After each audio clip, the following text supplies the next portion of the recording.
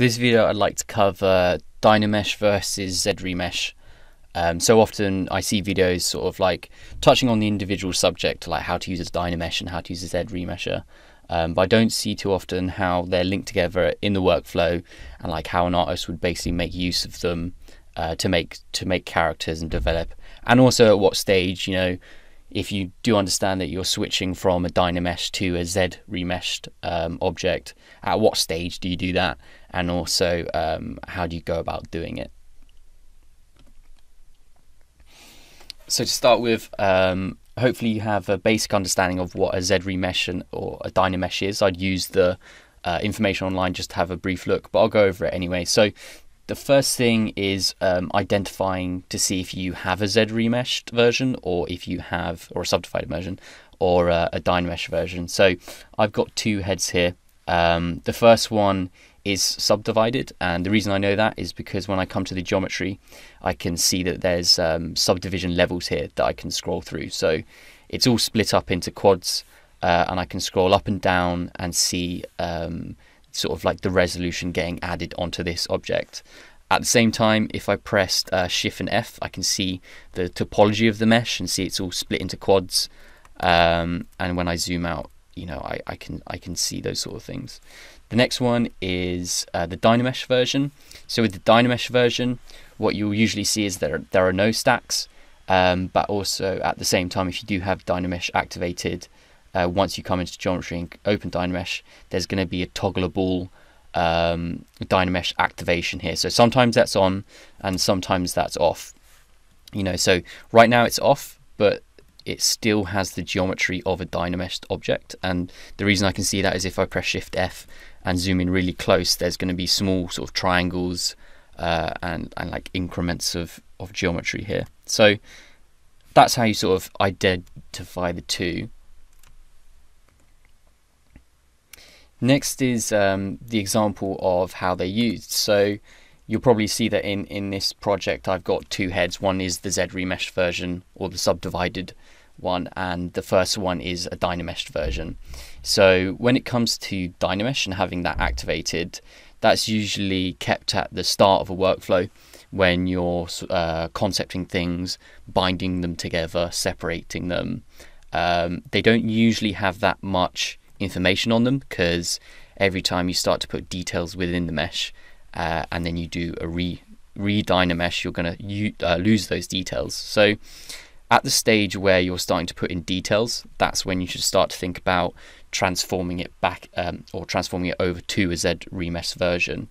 Um, while you are developing with the Dynamesh, there's things to take into consideration. So, say you've got loads of tools that have been Dynameshed and they have quite a lot of active points, so they have a lot of uh, resolution.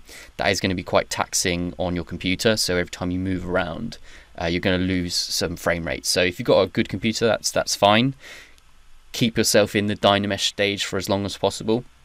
Um, but if your computer is starting to tank and you're getting those frame rate issues, I'd suggest at trying to turn that uh, Dynamesh back into a Z remesher because um, the way ZBrush works is whenever you're moving the camera, you might see that uh, the camera is actually switching to uh, a visually lower version of the subdivision and it's saving us frame rate so it's nice and smooth.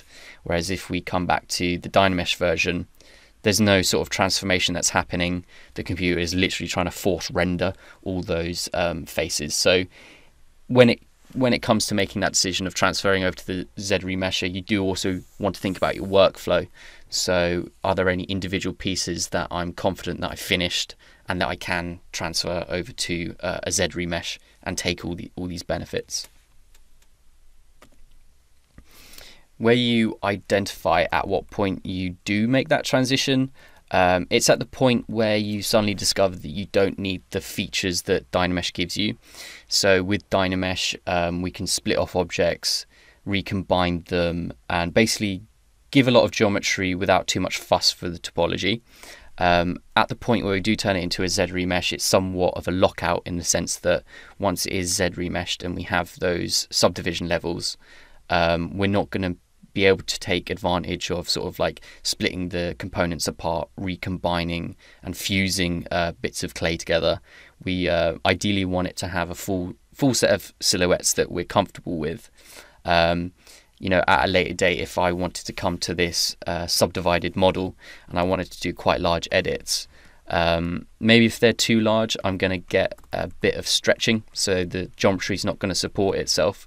So there is a lot of forward planning that has to come in, and which is involved when you're transferring over from Dynamesh to um, a Z remeshed version. You can do another Z remesh, but then again, that's just extending the workflow. Um, so it's better to to have that forward planning and make it as short as possible. Then again, if you're missing the features of um, Z remeshing and using subdivision levels, maybe you do want to go over to that section. When you're in Dynamesh version, uh, you're obviously working at one resolution state, which can sometimes be difficult. So, if we look at the advantages of Z remeshing, is that you know we can add obviously there's the camera that we the camera uh, frame rate that we went through but also at the same time there is the divisions that you can add. So if we wanted to put uh, a large amount of small details in here obviously we can store that information at higher subdivision levels. And then if there are larger changes that we want to make um, on a broader scale we can scroll down to the lower subdivision and make those changes. So for example if I was using a move tool at a lowest subdivision, then it's affecting uh, a, a, broader range of topology. But if I was at the highest subdivision, this move tool is probably going to be a bit more sharper, it's going to be laggier, um, and it's going to cause artifacts down the chain. So one of the benefits with Z remeshing is that you have access to all those divisions where you can uh, choose what resolution your geometry is going to be, and then your tool's going to um, take take the benefits of being at that resolution. So another sort of case example of that is when you're using masking. So if you're masking something, obviously this is quite a sharp mask. Say I wanted to um, change the position of this ear, I would, while I was dynameshed, I'd I'd only be in one resolution, and I could only sort of paint it like this, and I'd probably have to feather it so it has a nice um, soft translation. But the benefit with subdivided mode is that if I come back to the lowest subdivided, and then use um, use my mask, I can then soften it and it's going to soften over a greater distance. So you know, highlighting highlighting that ear, say it's perfectly uh, masked out, I can then control click it once, and then it's going to give this really soft transition. I can then go back to the highest subdivision and then make all those masks changed.